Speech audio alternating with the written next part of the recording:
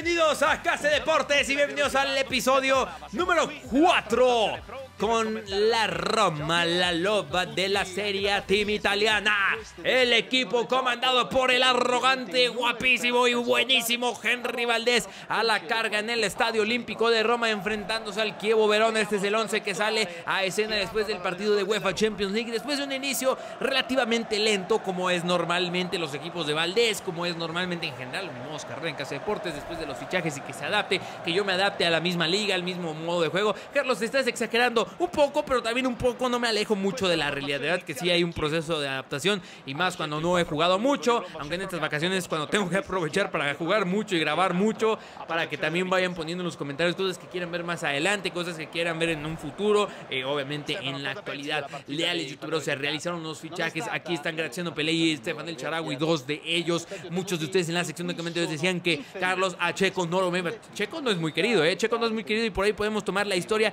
de que Henry Valdés tenga un pleito con Edin Checo y ahí ya tenemos la primer, eh, el primer problema. Ya saben que Henry Valdés es un tipo que ocasiona problemas a todas las partes a donde va, pero lo que ocasiona también es un fútbol increíble, un fútbol en conjunto como el que acaban de ver. El pase de Estefan El Sharawi para Mohamed Salah, pero la definición con la pierna derecha. Y sabemos que Mohamed Salah, si hay algo en su juego que tiene que trabajar, es la definición, definitivamente. Siguiente jugada, este es Lucas Diñé. Y vean el pase que le va a poner así una bala Graciano Pelé. Y dice una bala, pues yo también doy una bala. Golazo de Graciano Pelé. Demostrando que él podría ser, o él debería ser, el 9 elegido por Henry Valdés. Obviamente le fichó y, y él podría ser el que haga que se vaya el equipo Edin Checo en invierno.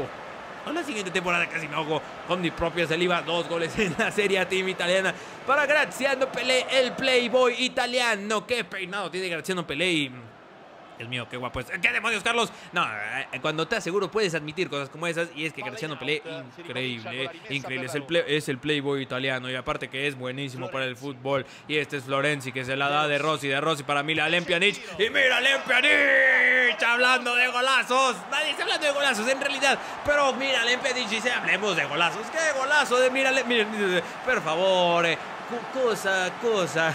No supe qué decir. Ni siquiera supe qué decir en español. A veces me pasa esto cuando grabo los gameplays porque querer decir lo primero que se me venga a la mente. Ya, ya, ya me conocen los que llevan mucho tiempo en el canal. Pero aquí simplemente hay que decir una obra de arte de Miralem Pjanic como normalmente nos tiene acostumbrados a sus goles. Miralem Pjanic normalmente es gol de Pjanic y lo primero en lo que yo pienso es que debió haber sido un golazo. Efectivamente fue un golazo. Marco Berratti, veamos cómo desparramando los rivales. Prueba de fuera el área. Atendiendo un tema que me preguntaron hace poquito porque ese remate se muy fuerte. No, he retirado los sliders que les mostraba en un video que está en el canal que eh, para mí no afectaban realmente nada eh, a, función de que nos ayudara como máquina, cosas más automáticas. Era para que, sobre todo para que los jugadores del otro equipo no jugaran tan atrás que en este FIFA se me hizo algo muy, muy, muy molesto. Creo que en eso sí ayudó bastante, pero en el juego positivamente a, afectarme a mí, que vean este remate Pelé y cómo la salvan en la línea. Creo que no, pero ya estamos jugando sin sliders, eh, solo lo usamos con el West Ham, es lo que sí les iba a decir, solo con West Ham se estaban usando realmente y ahora ya en nada. No, estamos eh, literalmente como viene el juego, como viene el juego, porque también me preguntan, Carlos, ¿qué cámara usas? Como viene el juego, de verdad decir como viene el juego, yo uso la de predeterminada, creo que le muevo un poco, pero la tengo como predeterminada, no sé si se vea distinto al de ustedes, pero bueno, vemos ahí como el remate de Iago Falqué, que preparaba la pierna izquierda, remataba, y había una mano, por cierto, esa era una mano y debía haber sido penal y y ya saben que Casa Deportes, si algo nos gusta, que es como a Cristiano Ronaldo, no, es una broma, ya saben que, que no me tomen muy en serio esas bromas. Eh, ya cuando les diga algo muy en serio, probablemente sean los videos que tengo preparados, que lo dije en el video de ayer con el West Ham, o cuando les digan en videos como esto, esto va en serio, no odio a Cristiano Ronaldo, pero no, no odio a Cristiano Ronaldo. En realidad me parece uno, uno de los mejores deportistas, atletas y futbolistas en la historia. Estoy muy contento de poder haber o de poder decir que yo vi a Cristiano Ronaldo. Eh, no en la realidad, eh, creo que no, no, no, no, nunca había Cristiano Ronaldo así en la realidad, pero sería fenomenal verlo, ¿no? Sería algo increíble. Y he visto a jugadores, ¿eh? puedo decirlo, y eso es un honor, un orgullo. Y mm, no lo puedo creer. Por ejemplo, el primero que sería me ven en Chelsea, también al Bayern Munich, a, futbolistas femeniles, inclusive vi al Real Madrid de los Galácticos Galácticos. No sé si se saben de esa historia, pero yo vi al Real Madrid de los Galácticos en un amistoso contra las Chivas en Chicago. Este, sí, yo vi a los Galácticos jugar eso, que fue de lo mejor que he visto en mi vida. Aunque fue un amistoso y aún más con eso, ¿no? Pero nunca voy a olvidar cómo Roberto Carlos con un tiro libre literalmente derribó a Osvaldo Sánchez. Osvaldo Sánchez puso los puños y ¡pum! al suelo. Increíble lo de, lo de Roberto Carlos. Y este es el debut de Cristiano Piccini. Cristiano Piccini. Y además, otro dato curioso. ¿qué, ¿qué, cabellos tienen los fichajes de Henry Valdés? ¿No? ¿Será que por ahí algo tienen sus fichajes Henry Valdés que también se fijará en ese aspecto estético? ¿Será que algo de su metrosexualidad de Henry Valdés si es que tiene algo porque seguramente se cree como David Beckham? A lo mejor por ahí va algo, ¿no? Por ahí, por ahí. Bueno, Cherby, no, solo Piccini, ¿no? Pero bueno, este es el 11 que prepara la Roma. Ahora sí, hablando estrictamente fútbol y bueno, tampoco Cuba, digamos que es el Justin Bieber de la, Argentina, ¿no? Y eh, también es una broma totalmente. No me decir, ah, está insultando a los argentinos. El remate de Trota y ojo que también Rulli está jugando todos los partidos. Es Corupsico totalmente borrado. Y aquí dejó borrado a Versalco y Turbe. Otra vez nos vemos hasta la vista el pase por Andrés Cubas. Se juntaban y Turbe y Cubas. Y a ojo aquí a Consigli que se equivocó la semana pasada horrible. Aquí se equivoca en la salida de Profetes de defensa y el remate de Tony Sanabria. ¡Qué golazo de Antonio Sanabria! Tony, me suena que le debemos poner un apodo así como de mafioso, ¿no? A Sanabria. Qué golazo de Tony Sanabria que va y celebra con sus amigos en la banca. Vean el público que hizo el viaje al estadio de Sassuolo. Qué remate, qué balazo de Tony Sanabria que dijo gracias por el regalito. Me adelantaron la Navidad, pues tante auguri, remate, golazo. Antonio Sanabria nos regala otro, otra obra maestra en este episodio, como ya lo hizo Miralem Pjanic. Y así lo celebra Sanabria, que en la realidad está jugando fenomenal y se le ve un futuro increíble. Esperemos que ese potencial que se le se cumpla, ¿no? Todos esos jugadores que muestran tanto potencial, pues obviamente todos queremos que se cumpla ese potencial y más cuando le seguimos de cerca, ¿no? Como aquí en, Magnanelli, eh, perdón, es Magnanelli, no recuerdo muy bien el nombre, te va a aparecer, eh, lo siguió muy de cerca y muy buen gol. Creo que es Magnanelli en realidad, a ver, vamos a ver. Eh, sí, es Magnanelli, es Magnanelli, así se pronuncia cuando la GN Magnanelli. Bueno, gran remate, mejor persona, como diría Polagor. Y vean aquí a Domenico Berardi, ojo, que lo la jugada que está mandando Domenico Berardi, borrando a la defensa y aquí Paredes se complica un poco. Y hablando de Domenico Berardi, atención a esta jugada, atención a esta jugada, la falta yo decía, ok, no hay problema, hasta quería irme rápido y ya aquí no me sorprendí. Roja directa para Domenico Berardi, pero veamos la reiteración, veamos la repetición que nos da la producción de Casas Deportes. Vean el balón, vean el balón, vean el balón, vean la barrida. Le da primero. E, eso no era ni siquiera amarilla. Eso no era ni siquiera amarilla. Henry Valdés, cuando le empiezan a reclamar en el público, simplemente se pone a insultarlos en italiano, intentando que no lo vean las autoridades de la Serie A. Ahí todos lo están insultando. Y andate No, no, no voy a decir en italiano, ¿no? En Casa Deportes se tiene esa estricta regla que me han impuesto realmente, que no vamos a decir eh, malas palabras, en realidad. Y creo que es mejor así. Y no es necesario. Llevo, pues llevo tres años en YouTube y no han sido necesarios. Creo que al inicio con la serie el Southampton sí decía. no recuerdo muy bien, pero bueno, eh, es, algo que ya también los que llevan mucho tiempo en el canal ya lo deben saber. Y para cerrar el episodio, en el Estadio Olímpico de Roma, recibimos al Olympique de Marsella. Que por cierto voy a llevar un cuatrimestre de francés. Eh, no creo aprender muchísimo, pero porque me cerraron mi grupo de japonés. Y ahora nos enfrentamos al Olympique de Marsella en el Estadio Olímpico de Roma en la UEFA Champions League. Noche mágicas y noches mágicas con ese mosaico que nos regala la hermosísima afición y tifosi Romani. Roma, sí, Roman, sí, no.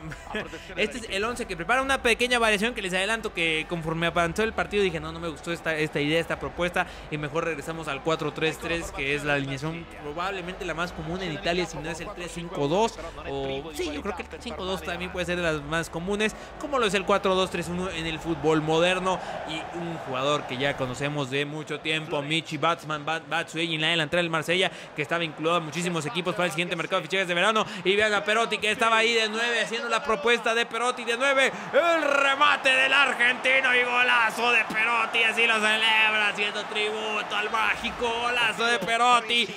vean la jugada de Florenzi, por cierto, vean a Florenzi limpiando la zona, que encuentra el carril perfecto para que ese pase no sea intervenido. La definición de Perotti su primer gol en UEFA Champions League. Henry Valdés simplemente voltea y lo sabía. Sabía que si lo poníamos iba a marcar. Ahora es Mendy que encuentra barrada, barrada, barrada, barrada en el fondo. Rulli qué portero eres, Rulli, qué increíble. Y además los fans ahí lo comentaban en la sección de comentarios, valga la redundancia, el episodio pasado. A quien no le gustan los fans de Rulli. Ahora la siguiente jugada es otra vez para Perotti. Vean a Perotti entre los dos defensas. Perotti el pase para Daniele de Rossi. Daniele de Rossi que ve la pasada de Mohamed Salah. Recorta el centro. ¿Para quién? Para Perotti. Sale mandanda muy bien. Y ahora vamos con Marco Berratti, que sabe qué es lo que jugar contra el Olympique de Marsella. Pues viene de Francia. Mohamed Salah, que va a el egipcio. El centro, el pase. Mejor dicen, me la voy a comer. Si quiere comer el pastel, el solo. Madre mía. Checo estaba en fuera de lugar. Eh, igual pudiste haber intentado definir, Checo, y ganarte un poco más del cariño, el aprecio, el respeto de Henry Valdés que estás cayendo de su gracia un poco, ¿eh? En la realidad me sigue gustando mucho Edin Checo. Siguiente jugada, mira Lempianich el pase para Edin Checo. Edin Checo dice, es hora de callar bocas. Edin Checo, es hora de... Henry Valdés simplemente le mira con una cara de Checo. Te voy a sacar del equipo, aunque hayas entrado de cambio. Eh, probablemente pudo haber definido otra mejor forma, pero ven aquí la jugada que se organiza en la banda de la derecha. El pase de Mohamed Salah para Checo, Checo, para la de El Charawi dice: Yo limpio el desastre de Checo.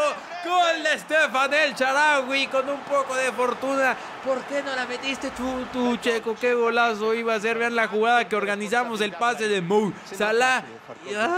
bueno, el Charawi dice: Bueno, no va a haber asistencia para Salah, pero al menos va a haber gol para Stefan el Charawi. Así se termina este episodio. Leales youtuberos, al menos los partidos que nos regaló hoy la Roma. Anuncio para los que sean seguidores del modo carrera con WWE. Mañana tenemos WrestleMania, que va a ser el mejor WrestleMania. Me estoy arriesgando a decirlo eso, aunque no debería decirlo yo. Va a ser el mejor WrestleMania en la historia de YouTube. Así, bueno, obviamente obviando los que, los que son obviamente reales. Me he esforzado muchísimo con ese video, obviamente mm, es algo especial y eso indica o implica un esfuerzo aún más especial que en todos los videos, que en todos los videos obviamente hago ese esfuerzo, que muchos de ustedes tal vez no lo vean y van a decir qué fácil es grabar o jugar y nomás decir las estupideces que dice Carlos, pero créanme que no es tan fácil. Las estupideces sí porque me nacen naturalmente, pero lo demás no, no es nada sencillo y me agrada muchísimo y lo seguiré haciendo hasta que el cuerpo aguante, como diría Enrique. Si es Enrique hasta que el cuerpo aguante o es maná. no recuerdo muy bien. El nuevo héroe de la Roma, Rulli. Qué alegría cuando te funcionan los fichajes. Y Rulli es un hombre que síganlo, porque eh, no, también no debería decirlo yo, pero es algo curioso, ¿no? Que si hemos tenido ese buen ojo desde la serie con el Southampton, que la gran mayoría de los jugadores que hemos eh, fichado les ha ido de maravilla en la realidad y les ha ido muy bien. un caso muy preciso eh, que sucedió este fin de semana, Carl Darlow y Jamal Shields con el Newcastle, que obviamente el Newcastle va muy mal, pero fueron de lo mejor en ese partido han sido lo mejor de los últimos partidos del Newcastle. Atención a eso y Darlow cuando tienen una crisis de portero ahí en Newcastle Newcastle, Darlow ha sabido responder a pesar de la juventud y a pesar de la, grave situación en la que se encuentra el Newcastle de Rafa Benítez. Leales youtuberos, eso es Toño por este video. Muchas gracias. Ya saben qué hacer si les gustó. Los likes siempre son bien recibidos y los comentarios intentan ser contestados. No olviden seguirme en mis redes sociales, en Twitter y en Facebook para estar enterados de toda la actividad del canal y poder contactarme de forma más directa. No olviden comer frutas y verduras y que no solemos.